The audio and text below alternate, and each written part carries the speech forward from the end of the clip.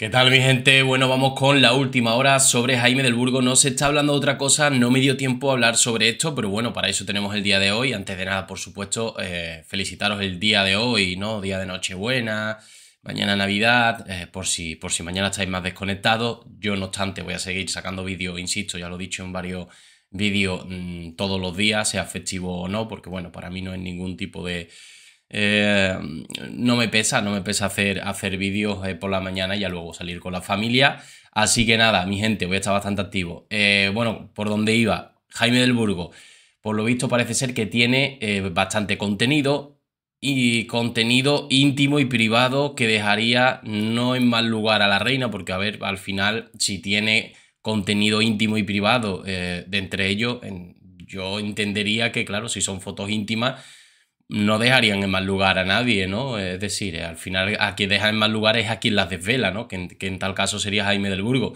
Pero bueno, evidentemente ver una reina eh, con fotos privadas íntimas por ahí, pues sí que es cierto que no sería lo lógico. Pero bueno, vamos a ver, vamos a ver qué, es lo que nos tiene escondido Jaime del Burgo, que, dice que en 2024 va a desvelar ciertas cosas. Yo creo que antes de, de que acabe el año, alguna cosita, alguna cosita nos dará por supuesto que, el tema de, del discurso del rey lo comentaremos, lo comentaremos en el canal, será, si no, el primer vídeo de mañana seguramente uno de los primeros. Y bueno, según titula en Blau, Jaime del Burgo pone precio a la foto de Leticia como Dios la trajo al mundo en la cama de Zarzuela. El excuñado de la reina Leticia y presunto amante tienen jaque a la consorte y a la casa real. Bueno, me imagino que eh, la, cara que tenía el otro día, tanto ella como, como el propio rey Felipe, eh, dejaba las claras que muy bien, muy bien no lo están pasando. Ah, comentarios que se me han hecho en vídeos anteriores, que qué ganas tenemos de, de separarlos, tal y cual. Yo no tengo ganas de separar a nadie, ni muchísimo menos. Yo creo que las parejas deben de tomar sus propias decisiones.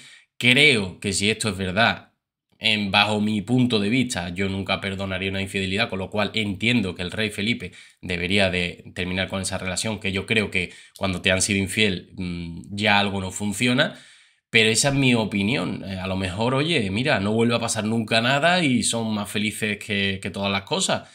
Pero bueno, esa es mi opinión, igual que yo respeto la vuestra, ¿vale? Bueno, dicho esto, la semana reciente la situación en la familia real ha sido complicada, la tensión se palpa en el ambiente, las declaraciones de Jaime del Burgo acerca de su supuesta relación con eh, la reina Leticia junto con el relato de Jaime Peñafiel en su más reciente libro titulado Leticia y yo han generado agitación en la zarzuela hasta provocar el momento más convulso desde que la consorte entró a formar parte de la familia real.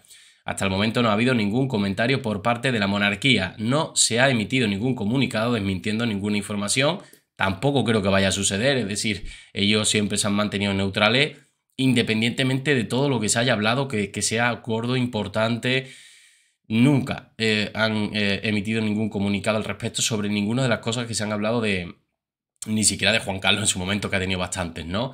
Eh, es verdad que con lo de Botswana, pues él se confundió, salió a decirlo, no debería haberlo hecho, me he confundido, pero quitando eso, eh, la Casa Real nunca ha desmentido nada. Pero bueno, en fin. Por ejemplo, cuando se publicó la asistencia de una presunta hija ilegítima de Juan Carlos I, llamada Alejandra. Eso también fue bastante gordo y tampoco se hizo, ¿no? De hacerlo demostrarían que el asunto ha generado preocupación de puertas para adentro Así eh, aparentan que no hay afectados en este capítulo.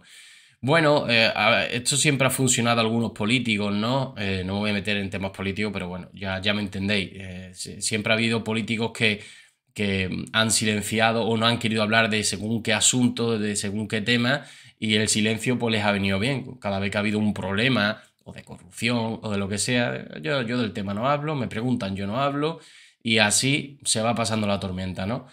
Pues bueno, aquí la Casa Real parece ser que, funciona de la misma manera, ¿no?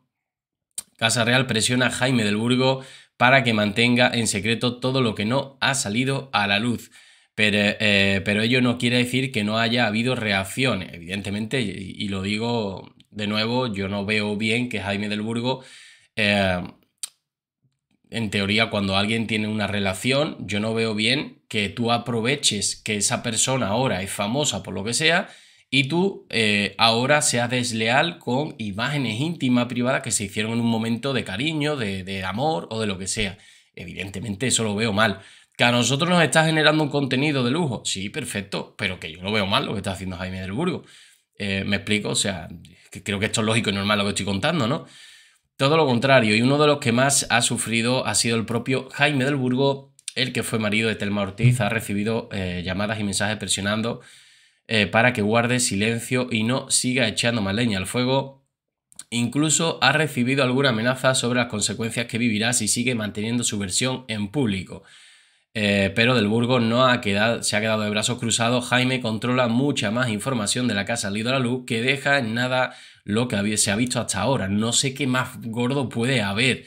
Que, que la reina no recicle, o sea, que, más gordo puede haber que una infidelidad de la reina al rey y que se haga público, ¿no? Yo creo que después de eso, no sé, no sé y ha advertido que si la presión y las amenazas contra su persona no cesan, sacará la artillería pesada, entre otras cosas, fotos íntimas de Leticia que guarda en un cajón en las que aparece la reina como Dios la trajo al mundo en la cama matrimonial de la zarzuela. Es lo que os digo, eh, una foto de la reina desnuda, que, que él la vaya, es decir, algo que se ha hecho en la intimidad, si yo la viera eh, y que sale a la luz, evidentemente, pues yo no digo, que ver, eh, hay que ver la reina, ¿no? Otra cosa es eh, que el tema de la infidelidad, pero, o sea, una foto en la intimidad que la saquen a la luz, eso me parece algo desleal, ¿no? O sea, quiero que se me entienda lo que estoy intentando explicar, o al menos mi punto de vista, ¿no? Me parece algo desleal el hecho de algo que se hace en la intimidad, pues, pues se saca a la luz.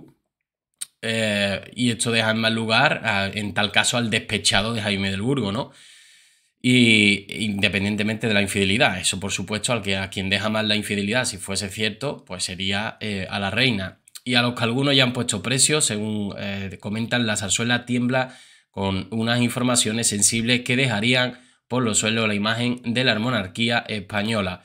Bueno, yo no creo que haya, no creo que haya nada más grave de lo que ya ha sucedido, creo que aquí acaba el artículo, no creo que haya nada más grave de lo que ya se ha comentado, sinceramente.